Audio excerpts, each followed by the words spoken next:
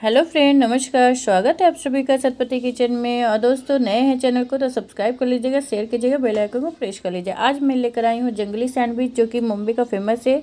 इसके लिए पहले मसाला को रेडी कर लेते हैं। तो इसको पैन गरम करेंगे, जीरा डालेंगे, सौंफ डालेंगे, उसमें डालेंगे लाल मिर्च डालेंगे तीन चार टुकड़ा तीन चार पीस। और उसमें काली मिर्च डालेंगे, लौंग डालेंगे, और एक फुल वाला जो मसाला होता है वो एक दालचीनी डालेंगे छोटा सा। और इसको रोस्ट करेंगे जब तक इसमें से अच्छी अच्छी से खुशबू ना आने लगे।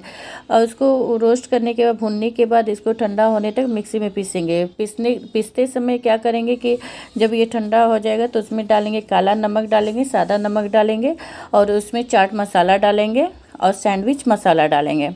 डालकर उसको अच्छे से महीन पाउडर बनाएँगे।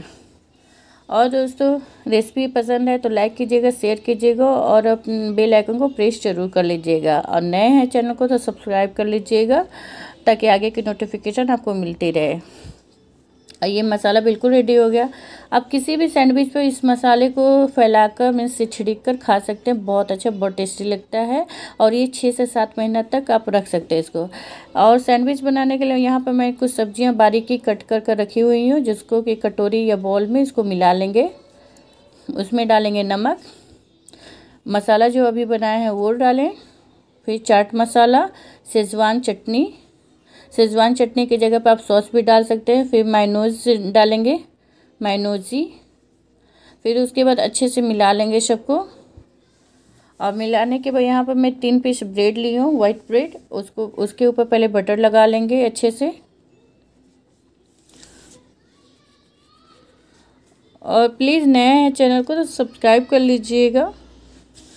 और बेल आइकन को प्रेस कर लीजिएगा। फिर इसके ऊपर जो अभी क्रीमली जो पेस्ट बनाए थे मिस सब्जियों के साथ, उसको फैलाकर और हरी चटनी फैलाने के बाद उसको फैलाकर उसके ऊपर से डालेंगे चीज़ या बटर। आप कोई भी चीज़ आप इस पर चाहे तो कद्दूकश कर कर फैला सकते हैं। ऊपर से फिर हरी चटनी, ये धनिया और पुदीने की चटनी है। फिर बॉयल किया हुआ आलू क्यूब शेप में कटा हुआ या फिर किसी भी शेप में पतला पतला कटा रहना चाहिए। फिर पतला पतला प्याज पतला पतला टमाटर फिर इस पर जो ये मसाला बनाया उसको छिड़क देंगे और ऊपर से फिर चाट मसाला। फिर उसके बाद खीरा और ये शिमला मिर्च। उसके बाद चाट मसाला और जो मसाला बनाए हो, उसको ऊपर से छिड़क देंगे और ये हमारा चीज़ को थोड़ा कद्दूकश कर लेंगे। आप चाहे तो कर भी सकते हैं, नहीं तो स्किप भी कर सकते हैं। इसके ऊपर ब्रेड को तीसरा ब्रेड को लगाकर और बटर लगा लेंगे और तवा गर्म होने के बाद इसको इसके ऊपर सेक देंगे गोल्डन ब्राउन होने तक। और रेसिपी पसंद है तो लाइक ज़रूर कीजिएगा और अपने फ्रेंड के साथ शेयर कर लीजिएगा फ्रेंड। और कैसा लगा आप लोग को रेसिपी कमेंट ज़रूर कीजिएगा और ज़रूर बनाइएगा। ये बहुत जल्दी बन जाता है और बहुत टेस्टी बनता है। तो ये देखिए, एक साइड का गोल्डन ब्राउन हो गया।